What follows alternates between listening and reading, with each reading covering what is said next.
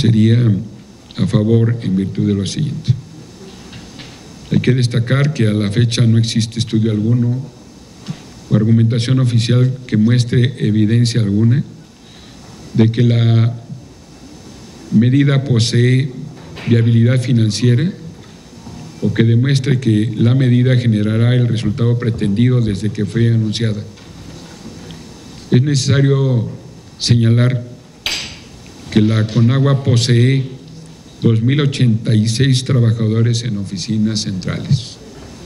Ya de por sí, los empleados, los trabajadores en la Comisión Nacional del Agua han sido disminuidos en sus oficinas que se encuentran en los estados y en las regiones donde prácticamente se encuentra en la inacción.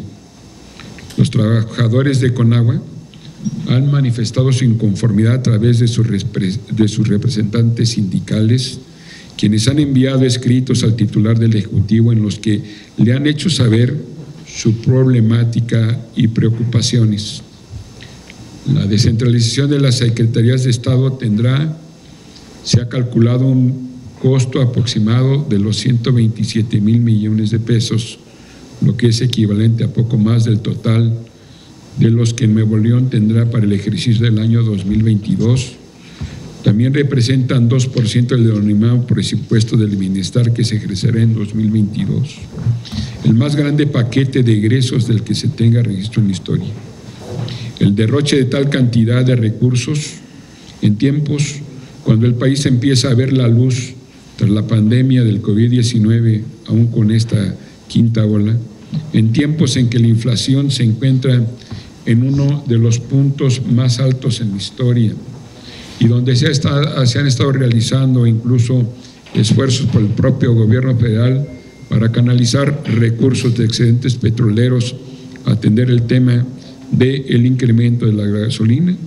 Consideramos que es un gasto innecesario y del cual no se ha demostrado que vaya a generar mayores ingresos en los estados a los que se planea mandar a diversas dependencias federales.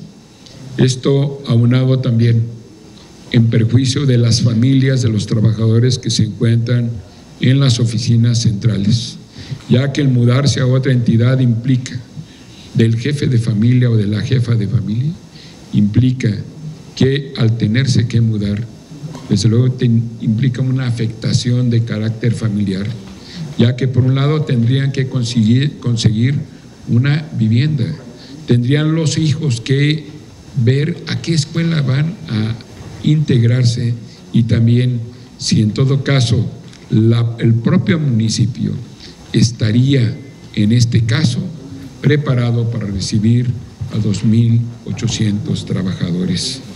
Los empleados de Conagua también argumentan que su cambio de sede a Veracruz es innecesario si en la República existen direcciones locales en 19 estados y 13 organismos de cuenca distribuidos en los 12 estados faltantes. Además, uno de los organismos de cuenca se llama Golfo Centro y tiene su sede en Veracruz.